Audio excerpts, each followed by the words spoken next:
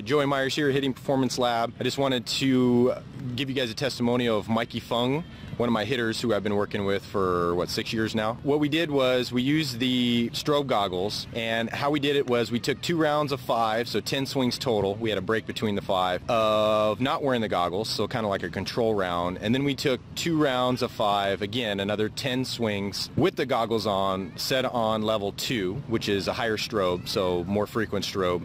And then we took two rounds without the goggles again of five, so 10 swings total. And I want to show you, I want Mikey to tell you kind of what he felt as a benefit.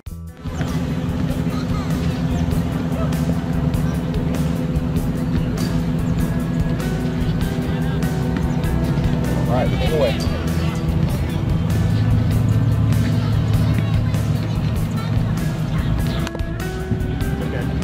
Gotta think about what your body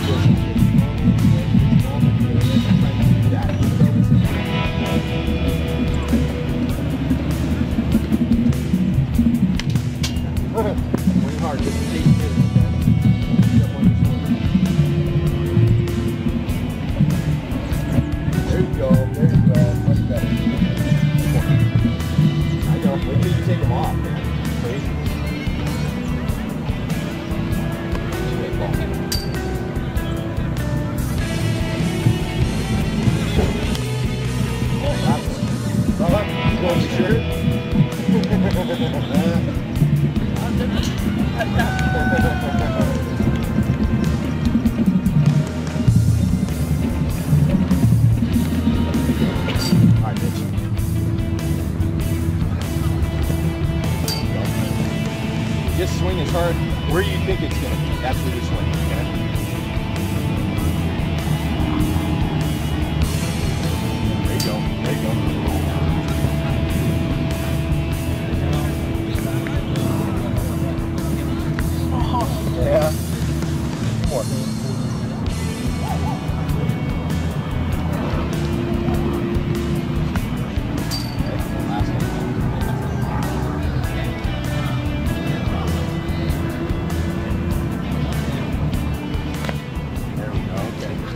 for it. For the goggles, I saw didn't really see the ball as much as I did after the rounds. After I saw the seams, I could tell the spin of it, and it almost looked like beach volleyball to me. Uh huh.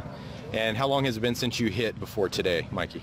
Uh, since July, July. August. So July. So end of July, Yeah. August, September, October. So about three months. Yep. So this is the first time you've hit in three months, Mhm. right? So you felt you felt like you saw the ball better on the on the back end. Yep. How about with uh, we talked about your mechanics, worrying about mechanics? Did you feel like you had to kind of internalize a little bit more? Yeah, Almost I like felt like I had to rely on my instincts a little more and feel it almost. Cool. Thanks, Mikey. Hey, what's going on? It's Joey Myers from the Hitting Performance Lab. We are going to get a short interview from Mr. Chase, who's 13 years old. He just got done using strobe glasses, and we're going to kind of see. We didn't get a chance to get anything on film because we didn't have a third person out here to show the actual session. So we're going to ask Chase what he thinks. All right, Mr. Chase. So we just used the strobe glasses. So what? First of all, what did you think when you put them on? What was kind of the first thing that came to mind when you when you figured we were going to be hitting pitches with these on? There's no way I'm going to be able to touch the ball. and we had it on level four, right? Level four, which if you go up, there's eight levels total, and level eight is there's a lot more black before you get to see what you get to see. So level one, it's it's strobing more, so you get to see get more information. So we started on four. What did it feel like to hit on level four? Just being able to not see as many different like clips. Mm-hmm. So I didn't really get to pick up the ball until the ball was maybe four feet away, and right over the plate was the next time. And how, and how did your round go? How with plate discipline? That not good. It your, your timing? everything was just off. Like I just I wasn't even using any of my mechanics. Ah, right. So hard, hard to see mechanics, hard to pick them up.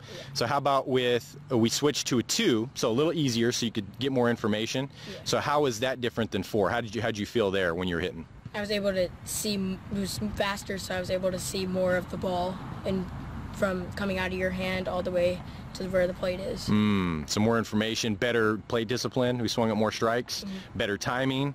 And last question, how how did it feel when you took the goggles off after using them for two rounds? Two rounds of five, so it's 10, 10 swings total, right? Mm-hmm. So after two swing, after 10 swings uh, with the break in between, how did it feel when you took them off for a round of five?